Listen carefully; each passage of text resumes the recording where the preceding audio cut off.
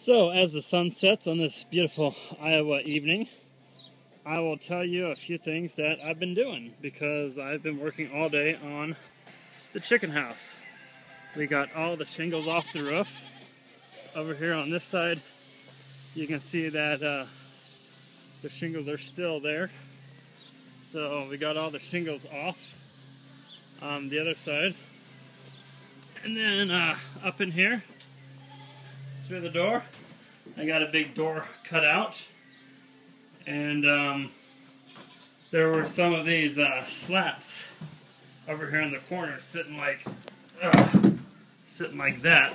And they were on all four corners. And I pounded those suckers out with a four pound hammer. And that's really come in handy. Um, I've used my Bosch saw a lot. And I've used my two drills a lot. I'm going to buy a Bosch uh, uh, skill saw online and then we're going to frame it. We're going to put tin around it. You can see the tractor sitting here because uh, I had the bucket up here on the roof and I was sitting on the bucket throwing all the shingles straight into it. And the tractor's made the job a lot easier as opposed to coming down and then carting it away with a wheelbarrow. And then out here front, there's some goats.